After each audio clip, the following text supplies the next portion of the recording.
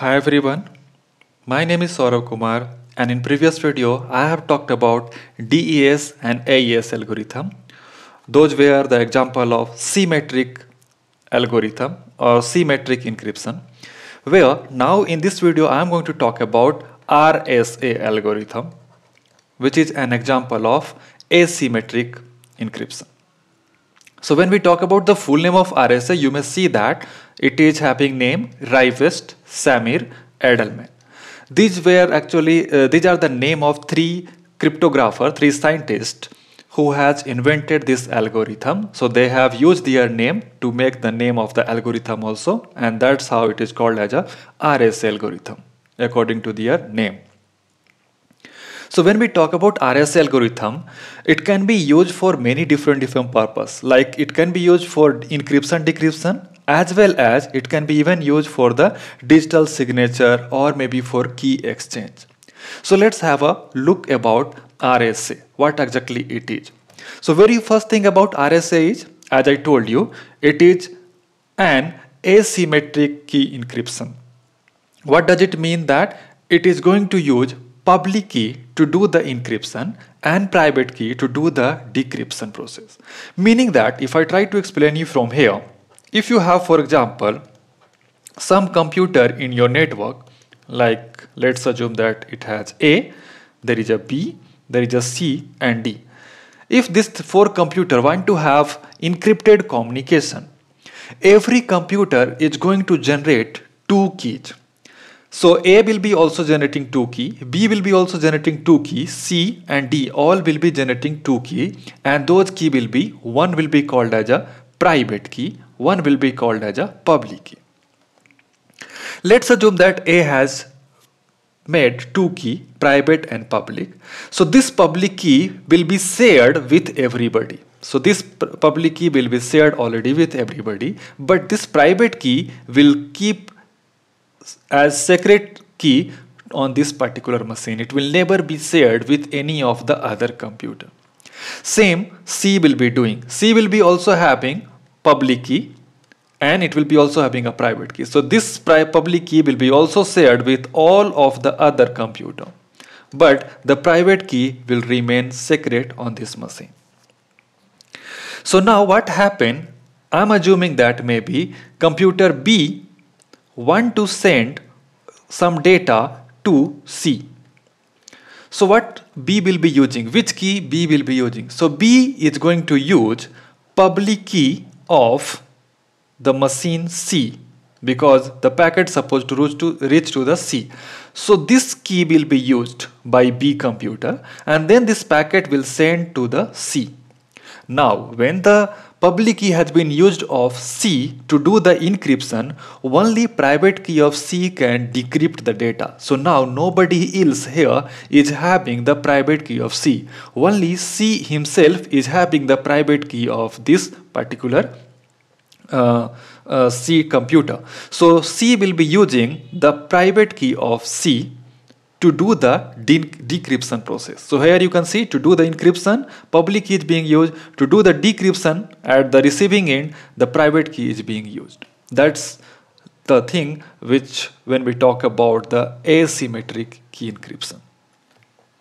Now to talk about RSA algorithm, we have to generate some key and for that we have to be going through a process so let me first show you the entire process on my whiteboard and then I will come back to this particular presentation to list them all process in a right manner.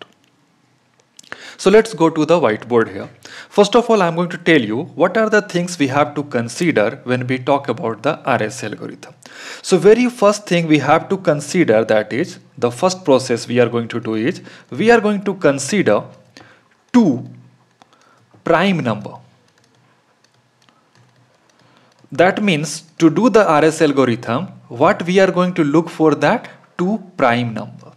And for example, I am going to give them the name P and Q. So these are the two prime number we are going to consider. And when you are considering these two prime number, I will always recommend you to add here one more thing that is large prime number because as big the prime number will be that much security will be on the encrypted data. So always people are using large prime number when they are using RSA to make their encryption much more secure confidential. Next point is after considering this two value of P and Q, we are going to do some calculation. So first calculation we are going to do is so calculate a value which is known as N. And for that the formula is whatever P you have multiply that value with the Q and that is going to become your N. Then the third calculation we are going to do is calculate we are going to calculate a value that is phi of n and for that the formula is p whatever p you have chosen minus 1 so first calculate it and then multiply it with q minus 1 so when you follow this formula you are going to get the value that is of phi of n. After doing these two calculation now we are going for the next step. Next step, we are going to assume a public key. So public key means the key which we are going to use for doing the encryption. So we are going to assume a key that is I'm giving a name here like a E to do the encryption such that there is a condition when you are assuming this value. The condition is the GCD value of the value you are assuming E and the phi of n. When you are calculating GCD of E and phi of n, it should be equal to 1. That is one condition. You are not just going to choose anything as a E. Whenever you choose E value, keep in your mind that the GCD value of E and phi of n should be always 1. It should not be having any other value. Next point is when you have already assumed E, you are going to now assume the value of D. And this D you can actually get it after doing calculation also. But the condition is such that when you are assuming the value of D, your D should be congruent modulo of e to the power minus 1 mod phi of n. This is the formula when you are considering the, when you are assuming the d value. So if you go through it, you may uh, follow these uh, steps to get it more easy. It is going to be like d because here e to the power minus 1. So I can call it like d multiplied by e mod phi of n is equal to 1 mod phi of n. Or we can directly call it like that also. D multiply by e. Here it is. And I can just call it mod phi of n should be equal to 1 so now you can easily get the value of d here. So these are some of the formula you are going to use. And then after using this formula you are going to get the value of four thing five things here even more than that one is p one is q two thing. Then we are going to get n value third thing. Fourth is you are going to get phi of n that is fifth thing. Then you are going to assume a e value sixth and then value of d that is seventh thing. After getting these seven things now you are going to generate a public key. So the public key value will be what? The public key means the key which you are going to use to do the encryption process. So your public key value is going to be E comma N. Whatever you have assumed E comma N. N means the value of P multiplied by Q. And then for private key, what will be the value? So private key is simply same D, the decryption key comma n. So this, this is the format you have to have a note of and then this format you are going to use when you are using the RSA algorithm. So now let me go back to my presentation where I'm going to show these all things in a right order. So to generate the key what we are going to do first of all two prime number p and q then we are going to calculate n value then we are going to calculate phi of n. Then we are going to choose a value of e where the e should be bigger than 1 or it should be less than phi of n where the condition is gcd of phi of n and e should be equal to 1 and then to do the calculation you are going to use the formula which we have gone with. D is equal to e to the power minus 1 mod phi of n. So now let's have a look on it. As I told you that we are going to use two key here. So the public key value is going to be e comma n. The private key value is going to be d comma n. So now to get it more proper understanding, let me use some formula here. For the encryption, the formula is always going to be means C, C means ciphertext. To get the ciphertext, the formula is your plain text message whatever you have power e means the key which you have used for public mode n. That will help you to do the any value in encrypted. And then if you have already a decrypt encrypted data to decrypt it to get the plain text you need to use the formula ciphertext power d meaning the key of private and then mode n so these are the two formula we are going to use to do the encryption of any value and to do the decryption of any value. But to do the encryption and decryption, you can see we need to be knowing the value of E and D, the value of N like that. Now to get this all things understand in a easy way, what I am going to do now is I am going to take some example.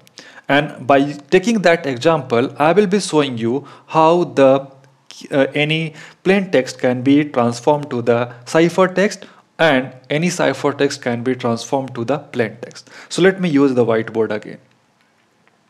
First thing I'm going to do is, as you know that we are going to assume two prime number. So maybe I'm assuming here that P and Q, that's my two prime number. As I told you, the value of P and Q should be as large it is possible. That much it will be secure. So obviously you will be using very big number here. But to make it the calculation easy, to make it better understanding, for me in this particular video, I am going to choose a, a small value. So maybe I am choosing the p value that is 3 and the q value that is 11. Again I am repeating why I am choosing 3 and 11 a small value, a small prime number so that the calculation goes uh, smoothly and you will be able to understand. Otherwise, in a real world scenario, the p value and key value, value is not going to be like this much small. It will be a very big in number. So now after choosing these two value p and q, the first calculation is as we have uh, discussed earlier, we are going to calculate and to calculate n value, the formula is p multiply by q, the meaning that 3 multiply by 11 that is 33. Now after getting the n, now the next thing we are going to calculate is phi of n. So the formula of phi of n is p minus 1 multiply by q minus 1. So what will be the value now? That will be 3 minus 1 that is 2 multiply by 11 minus 1 that is 10 the meaning that phi of n is 20 now. So we have got now 4 value. I have assumed I have considered P as a 3, Q as a 11. I got N value 33, phi of N value is 20 now. Now the next thing is we are going to choose a value for E. So when we are going to choose a value for E, choose a value for E means the public key. So I can choose any value of E only the condition is as I told you that it should be always the condition is it should be bigger than 1 and it should be a small than phi of n. Meaning that my value of e will be in this scenario anything between 1 to 20 because my phi of n is 20 and the smallest value is 1 so i can choose 2 i can choose 3 4 5 like that Another condition is as I told you that the GCD value of phi of n and e should be 1. it should not be anything else. So if i choose for example the value of e that is 5 and q uh, phi of n is 20 so if i get the gcd of uh, 5 and 20 it can be 5 if i choose e value 10 and then phi of n is 20 so the gcd will be 10 so that 5 and 10 I cannot consider as a E value. So I have to choose any value so that my GCD of E and phi of n, GCD of phi of n and E should be equal to always 1. So now I can choose for example 3, I can use maybe anything else like 7 so I'm just consuming, uh, I'm just uh, going to use a value here that is 3. So I have choose that, okay, my E is going to be, or maybe let's take 7. Because if I choose 7, 7 is between A to 20, 1 to 20. The first condition is fulfilled.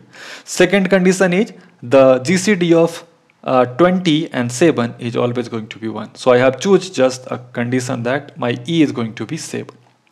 Now once I selected E value, now we are going to get the value of D. So the formula of D is, we know already that the formula of D is E to the power minus 1 mod phi of n, right?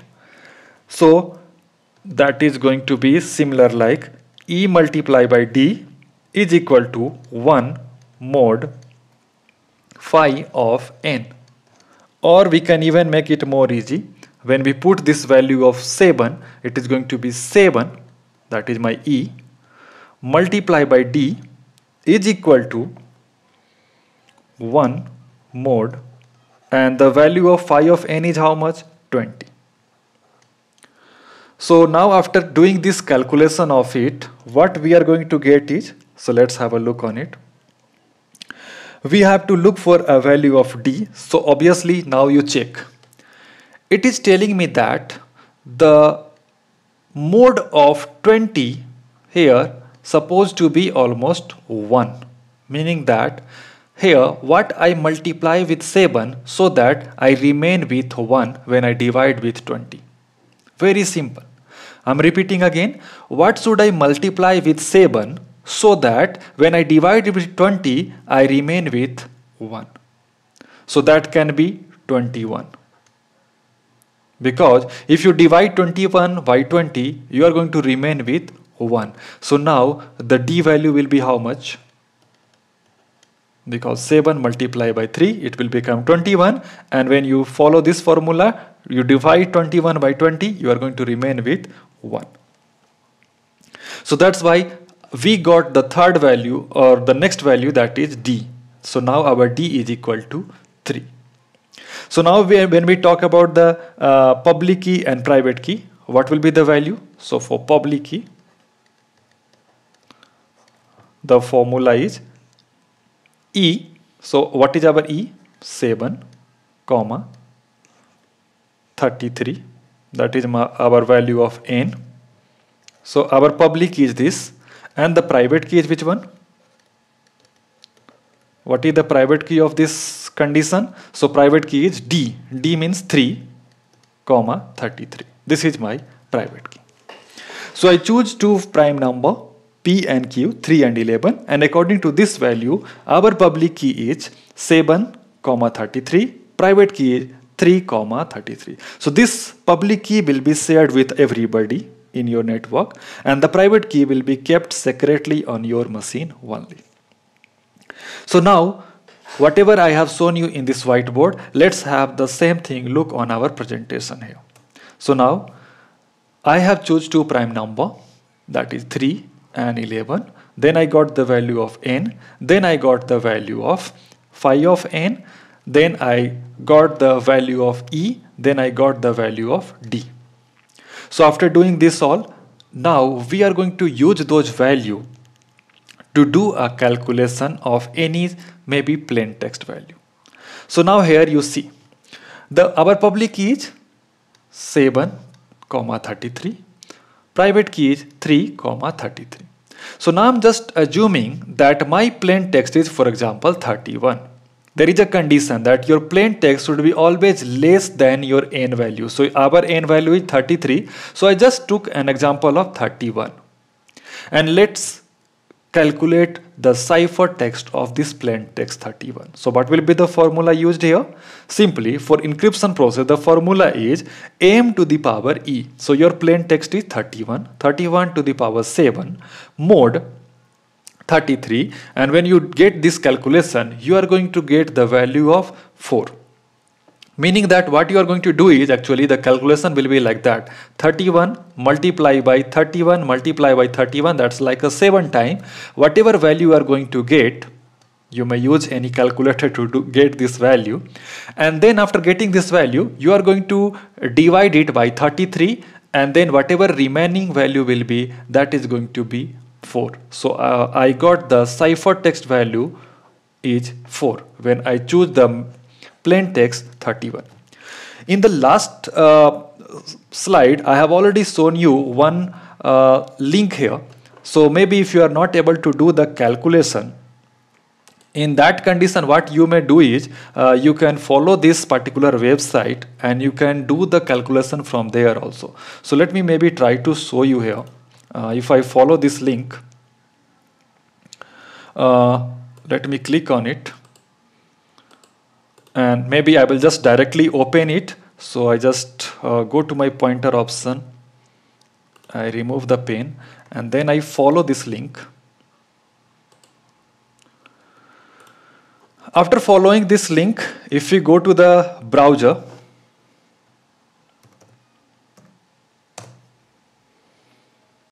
if I open this site let me get a copy of it.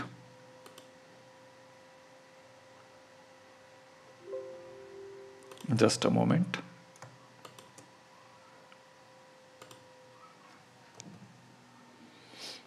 So my browser supposed to open that link but anyway I can open from here also. www cs dot drexel dot edu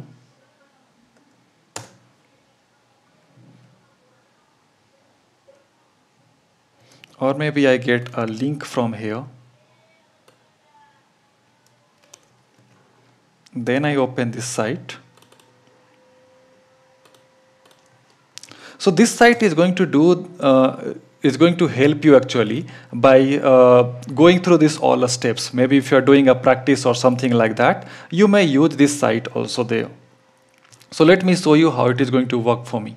What P and Q value we have chosen. So let me go back where I have choose the value of P and Q here and after choosing this value I can come back to this site and this site can help me to get some calculation. So here you see if I choose p value that is 3 and q value I choose 11 and then after setting p and q if you click on set pq you see it will be helping you to get the value of n and the value of phi of n. Here it is being represented by r so that is the same value we got 33 and 20 you may scroll it down. It will be telling you some other options like it will be getting 21 that is the actually value to get the uh, that will be same like where we have been talking about.